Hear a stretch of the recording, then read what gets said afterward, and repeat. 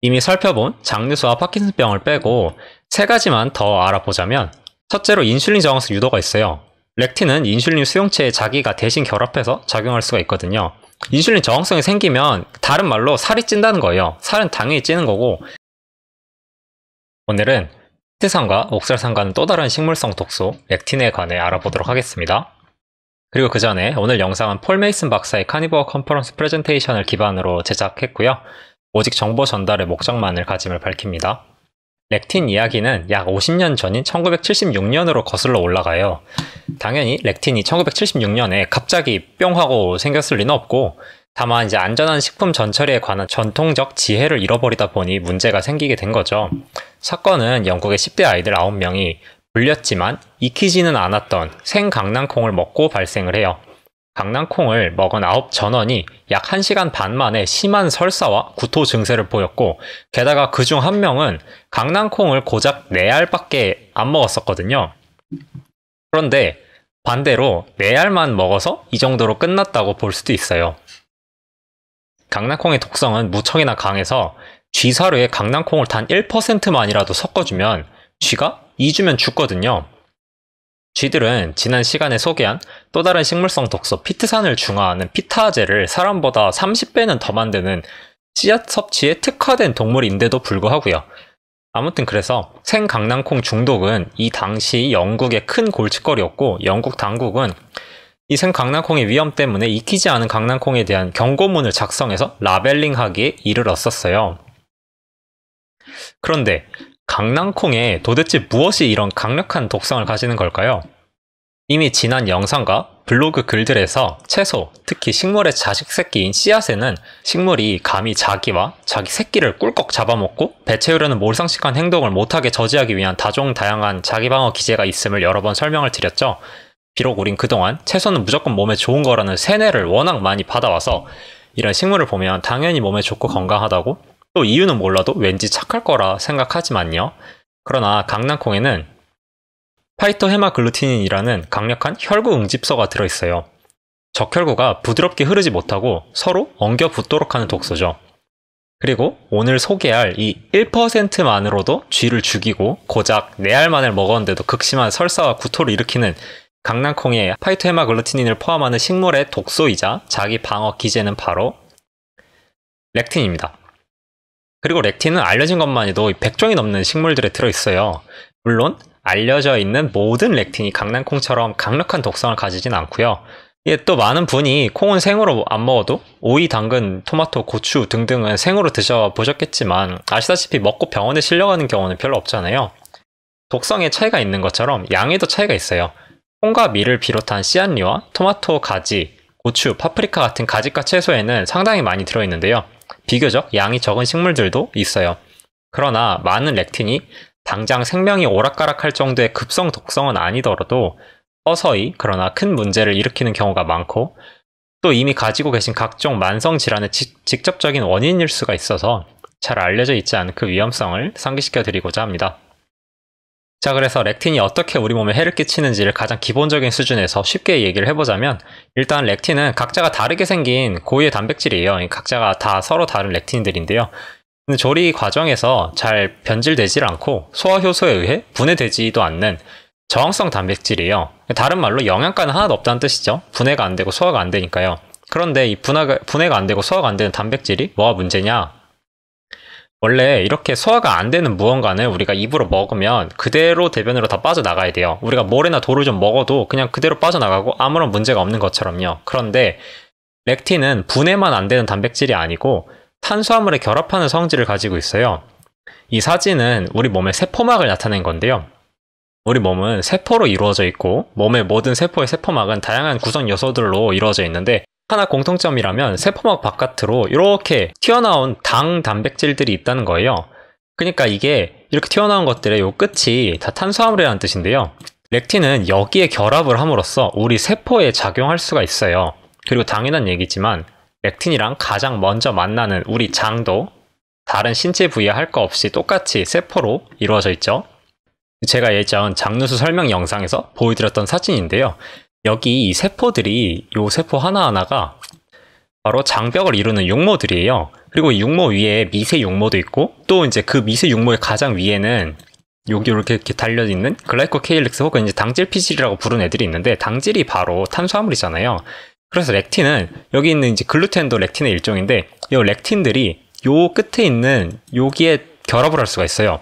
여기 결합을 해가지고 얘네가 원래 치밀 결합부 융모들이 서로 서로 꽉 붙들고 있어가지고 여기 나쁜 것들이 렉틴도 그렇고 우리 몸속에 함부로 들어오지 말아야 할 유해균들, 외부 물질들, 소화되지 않은 단백질 뭐 이런 것들이 들어오지 못하게 막아주고 있어야 되는데 여기를 손상해서 다 투과될 수 있게 이렇게 만들어요. 그러니까 장누수를 직접 일으켜서 몸속으로 들어오는 거죠.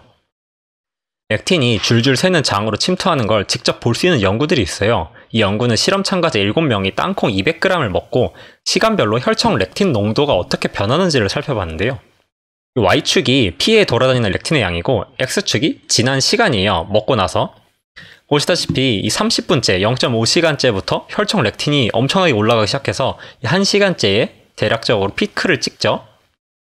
그런데 더욱 충격적인 거는 렉틴이 혈류로만 침투하는 게 아니고 뇌와 장을 잇는 미주신경을 타고 우리 뇌로 직접 침투할 수 있다는 사실이에요.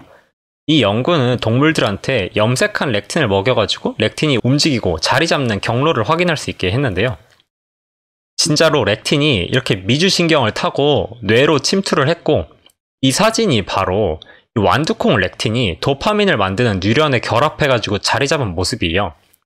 그리고 사지가 서서히 마비되어 가는 그런 운동 장애가 생기고 하는 퇴행성 뇌질환, 파킨슨병의 문제가 바로 도파민을 생산하는 뉴런의 손상이죠.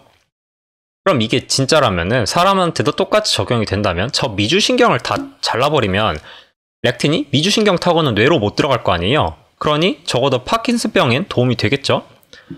이 연구는 지난 1977년에서 1995년 사이에 덴마크에서 위와 뇌를 잇는 미주신경을 절단하는 수술을 받은 모든 환자를 대상으로 20년 이상이 지난 후에 조사한 결과예요.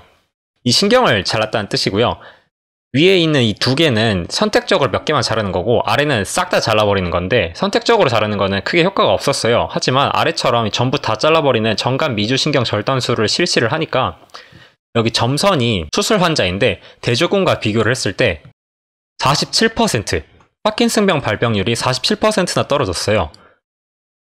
참 신기하기도 하고 섬뜩하기도 한 거죠.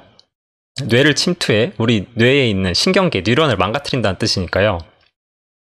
자, 그래서 식물 렉틴이 장누수를 일으켜가지고 몸으로 침투해서 특정 조직과 세포에 결합할 수 있음을 알아봤는데요. 이렇게 우리 몸에 결합하는 렉틴이 일으킬 수 있는 대표적인 문제들 이미 살펴본 장누수와 파킨슨병을 빼고 세 가지만 더 알아보자면 첫째로 인슐린 저항성 유도가 있어요. 렉틴은 인슐린 수용체에 자기가 대신 결합해서 작용할 수가 있거든요. 인슐린 저항성이 생기면 다른 말로 살이 찐다는 거예요. 살은 당연히 찌는 거고 알려진 절대도수의 만성 질환들, 즉 고혈압, 당뇨, 심혈관 질환, 뇌혈관 질환, 알츠하이머 등등이 전부 인슐린 저항성과 관계가 깊으니 참 문제가 큰 거죠. 이 표를 보시면 여기 Y축이 지방이 쌓이는 정도고 X축이 이제 시간인데요. 위로 올라갈수록 지방이 많이 쌓인다고 생각하시면 돼요. 그리고 이 제일 밑에 여기가 바로 인슐린만 작용했을 때예요. 그리고 제일 위에는 인슐린의 렉틴까지 작용했을 때고요. 그리고 요 밑에 두 개, 이거는 인슐린 없이 렉틴만 작용했을 때예요. 그러니까 다른 말로 렉틴은 그 자체로 진짜 인슐린보다도 더 강력하고 더 오랫동안 인슐린 같은 효과를 일으킬 수 있다는 거죠.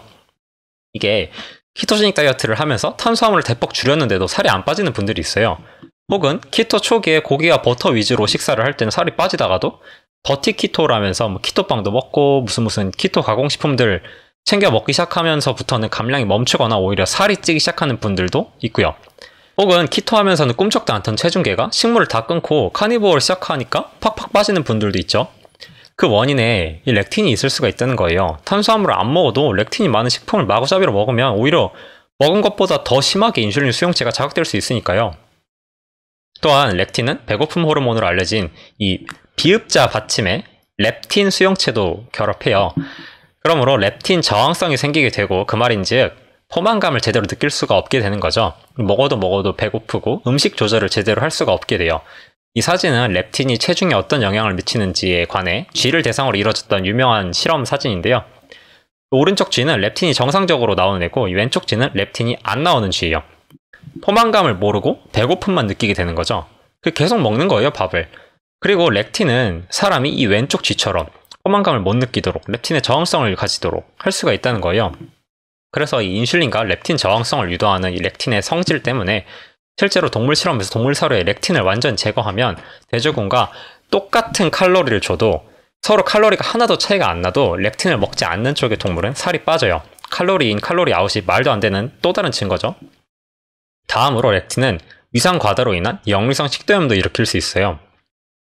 우리 몸에는 비만 세포라는 게 있는데요. 이게 비만을 일으켜가지고 비만 세포는 아니고요. 생긴 것 때문에 비만 세포라는 이름이 붙었어요. 어쨌든 이 세포는 히스타민을 잔뜩 가지고 있어요. 요 안에 있는 것들이 히스타민인데 이 히스타민이 우리 몸에서 이 비만 세포가 막 분비를 하기 시작하면은 위산이 나와요. 그런데 렉틴은 이 비만 세포의 IgE 분자에 결합을 할 수가 있어요. 여기에도 탄수화물이 있거든요. 그래서 렉틴이 이렇게 IgE 분자에 결합을 하면 히스타민이 팍팍 쏟아져요. 이러면 또 위산이 과도하게 나오게 되고 역류할 수 있는 환경이 만들어지는 거죠. 그래서 저탄고지 키토제닉 식사를 하고서 위산 역류나 속쓰림이 좋아지시는 분들이 많아요. 이게 그 연구인데요. 저탄수화물 식사를 하면 일단 렉틴이 가장 많은 씨앗류를 대부분 끊게 되거든요. 뭐 곡물 이런 것들을 탄수화물을 줄이다 보면요.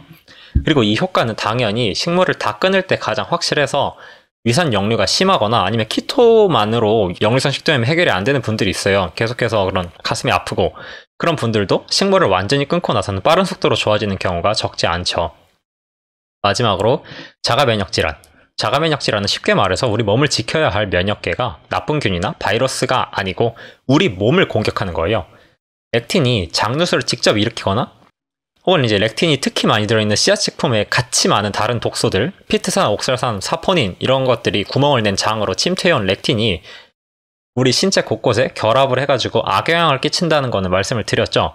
이 때문에 우리 몸은 렉틴이 들어와가지고 막 결합해서 아, 나쁜 짓들을 하면 자연스럽게 거기에 항체를 만들고 면역 반응을 일으켜가지고 먹어치우고 처단을 하고자 해요. 더 이상 문제 못 일으키게 요 그런데 이 자연스럽고 당연한 과정에서 어떻게 자가 면역이라는 끔찍한 일로 발전하게 되느냐, 그런 일이 벌어지게 되느냐 하면, 원래 우리 면역계는 후천적으로 항체를 만들 때 문제를 일으키는 항원 하나를 정확히 특정해 타격하는 시스템을 가지고 있거든요.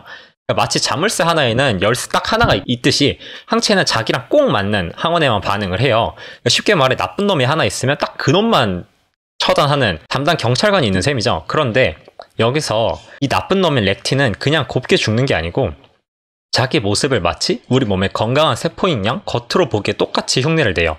여기 오른쪽 세포가 그냥 우리 몸에 원래 있는 건강한 세포라면 렉틴이 이 오른쪽 세포랑 여기 이게 딱 맞아야지 항체가 작용을 하는 건데 이게 딱 맞아야지 딱 맞는 그런 항원 항체 반응, 면역 반응이 일어나는 건데 이거를 렉틴이 건강한 세포랑 똑같은 척 하는 거예요. 똑같은 모습을 베껴서. 이렇게 되면은 얘가 렉틴이 난리를 치니까 렉틴에 대한 몸에서 항체를 만들고 이렇게 만들어진 항체가 렉틴만 죽이는 게 아니고 똑같이 생긴 건강한 세포를 오해해서 얘까지 같이 공격을 하게 되는 거죠. 이렇게 외부 항원이 우리 세포를 흉내내는 걸 molecular mimicry 우리말로는 분자 모방이나 분자 의태 이런 식으로 부르고 최근에는 이거야말로 자가면역 질환의 주요 원인 발생 기전이라고 보고 있어요. 그렇게 렉틴이 모방한 건강한 세포가 이 세포가 뭐 갑상선이면 하시모토나 그레이브스 병이, 뇌면은 다발성 경화증이, 장 상피세, 상피세포면 염증성 장질환, 크론병, 궤양성 대장염, 뭐 췌장이면은 제1형 당뇨병, 그냥 쭉쭉쭉 이어지는 거죠. 그런 다양, 다종 다양한 자가면역 질환으로 발전을 하는 거예요. 그러니까 렉틴이 비록 분자 의태의 유일한 원인은 아니지만 이렇게 자가면역 질환 발병에 직접적으로 기여할 수 있다는 뜻이죠. 그런데 여기서 잠깐 한 가지 따져보고 넘어가야겠죠. 렉틴이 그렇게 자가 면역 질환을 일으킨다면 왜 우리 모두가 다 자가 면역 질환에 걸리지 않느냐는 얘기죠. 렉틴이 특히 많은 음식은 조금 있다가 마지막으로 설명을 하겠지만 아까 얼핏 본 리스트만 해도 그동안 우린 누구나 다 렉틴을 먹어왔잖아요. 이걸 폴 메이슨 박사는 스위스 치즈 모델을 이용해서 설명을 해요. 여기 다 스위스 치즈처럼 구멍이 퐁퐁 뚫려 있죠. 자가 면역 질환이 발병하려면 이 세 가지 발병 요인이 모두 다 같이 겹쳐야 된다는 말이에요. 그리고 그 첫 번째로 유전이 있는데요.